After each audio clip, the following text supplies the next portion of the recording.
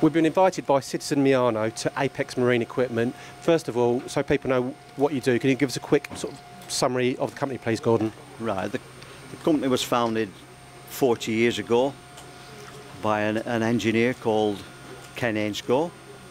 Uh, he was an engineer by trade. He had a passion for scuba diving. Uh, and Jacques Cousteau, he was, you know, amazed by what Jacques Cousteau does. So he was an engineer by trade and he worked in the aerospace company. And he looked at the regulators and thought, do you know what? I'd love to give this a go. So, like any any good engineer, he said, I can I can make it better. Absolutely, yeah, that's true. Yeah, and here we are today. He started with himself, and he, he later bought brought a business partner on board with him. And 40 years down the line, this is where we're at. So, how many staff? About 165, 170, yeah, one or two part-timers. And how many machines? About 28 in the machine shop, yeah, and probably 12, 13 in the tool making area. And exporting to how many countries? Oh, how many? I won't hold you exactly. No, no, no, but uh, it's, it's worldwide. It goes to America and Germany. They are our biggest markets, but you've got Belgium and Holland and Italy, and now we're branching out into the Asian markets. So, yeah. And these are world-leading respirators, so any good diver will have one of these. Oh, yes, absolutely. Yeah, Apeks is, is well known throughout the world. And manufactured in-house, you've got your Citizen, Citizen and Miyano machines. So what we'll do is we're going to have a chat with Mick and showcase what they actually do on those machines. Of course, yeah. Mick, you run the sliding head sort of turning section. You've got a bit of experience with Citizen, I understand? A little bit of experience, yes, going on for 28 years now, yes, in Citizens, yeah. Formerly at the Royal Ordnance Factory and now presently at Apeks. Okay, so why do you like Citizen so much? I started out on them and I've stuck with them ever since, yeah. So why fix them if it's not broken? Yeah. So you got here the L32. What, in, in terms of specification of the machine, what have you actually got in here?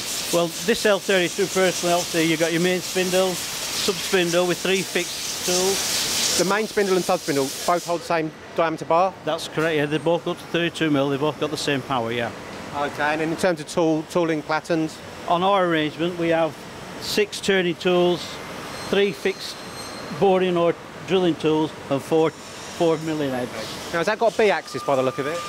No, it hasn't got to be active though. This is a fixed fixed head with just three face tools. Okay, but uh, driven tooling though? It is possible to get a driven tooling on these, but it's a separate arrangement on your planting, yes. Okay, fair. So different specifications, and Citizen can meet those requirements for what you need. Yeah, that's right, yeah. We don't need it on this one, so we're fine with what we've got. So why do you like the Citizen machine so much, Ho?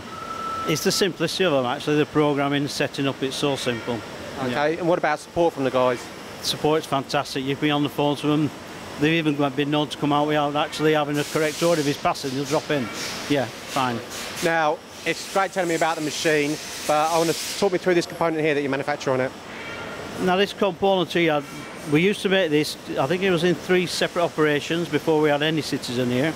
And now we do it on this machine L32 from solid bar in one minute 40 seconds complete, no second off.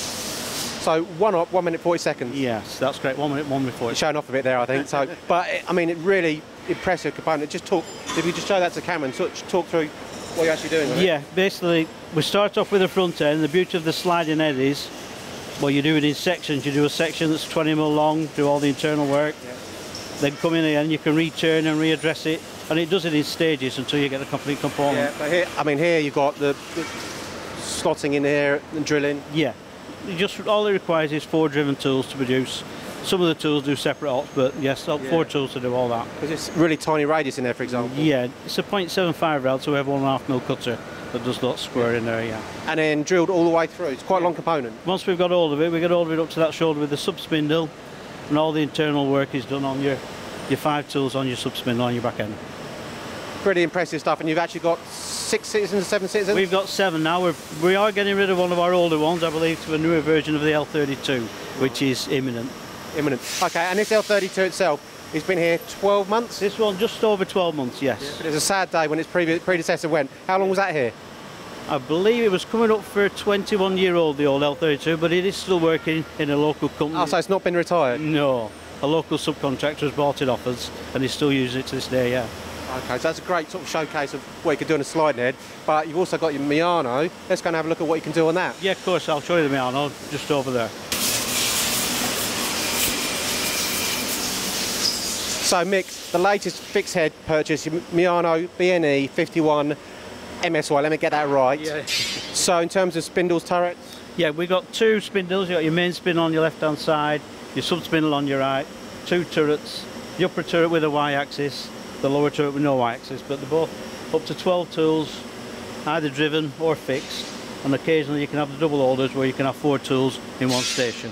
Oh right, so driven tool and all the way around, so essentially 24 driven tools, but flexibility to add those. Yeah, whatever your job requires, whether you have driven tooling or your fixed tooling, very adaptable, very versatile. When you say adaptable and versatile, you can actually, as I understand it, depending on the tool setup, be uh, machining three faces at one, one time. That's great. Yeah, you can have three phase, uh, two turning on your main spindle and your sub spindle coming in, working on a tool that's facing your sub spindle. Okay. Yeah. And in terms of power and flexibility of, of the tooling and the spindle, We have up to 5,000 on your main spindle RPM, same on your sub spindle. And on our machine, we have the collet attachments where the same collets fit either end. Yeah. easy transfer, easy quick change. so and a, a machine you enjoy working with. yeah, it is because, because unfortunately for me, it is very similar to the Citizen, and that's the programming tooling very similar. Okay. So in terms of programming, you've got the Mitsubishi option, is that right? I believe the Mitsubishi option. I don't know if it's the only option, but it's the one that we've got. Yes. Right. Yeah. And is that fast and easy? It is easy, easy, especially because it's similar to the Citizens. Very easy to learn, easy to set.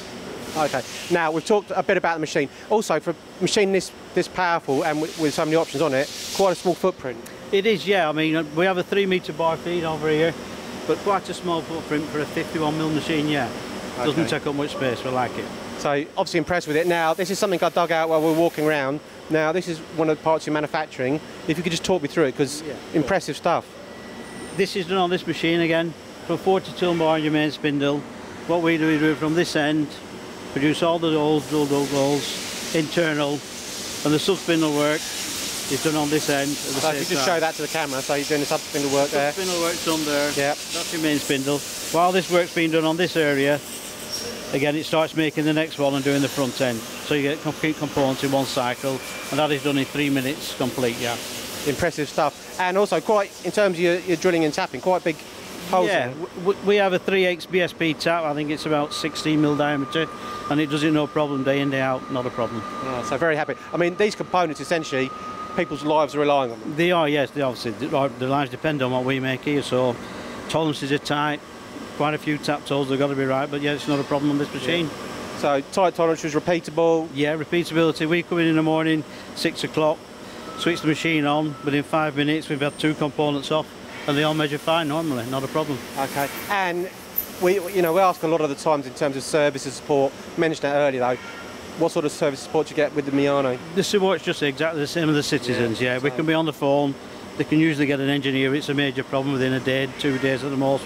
But yeah, they were fine. So very happy with the machines. Very happy. Yeah, very good. Okay. Mick, thank you very much. You're welcome. Not a problem.